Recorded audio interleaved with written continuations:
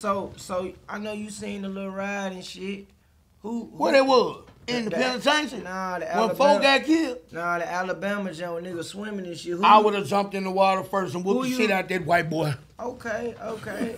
I thought that was your cousin. Hmm? What? I'm light, bright, and damn near white.